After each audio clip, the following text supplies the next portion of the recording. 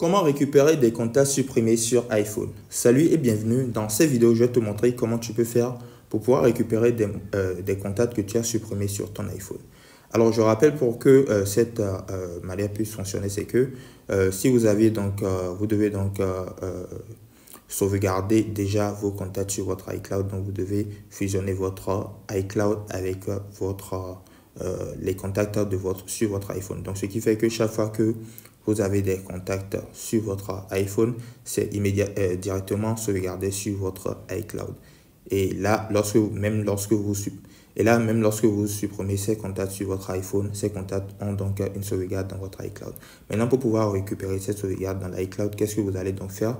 Vous allez donc euh, euh, vous rendre dans les paramètres de votre téléphone. Voilà, arrivé ici dans les paramètres de votre téléphone, vous allez cliquer sur votre identifiant comme ceci. Nous allons donc arriver ici, arriver ici, nous allons cliquer sur iCloud. Voilà, tout ce que nous allons donc faire arriver ici, c'est que nous allons donc désactiver les contacts comme ceci. Ensuite, nous allons donc euh, euh, garder les contacts sur notre iPhone.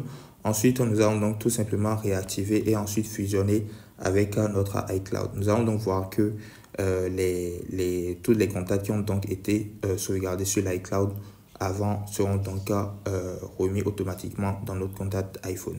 Donc voilà un peu comment vous pouvez donc faire cela et c'est tout pour cette vidéo. J'espère qu'elle vous sera utile.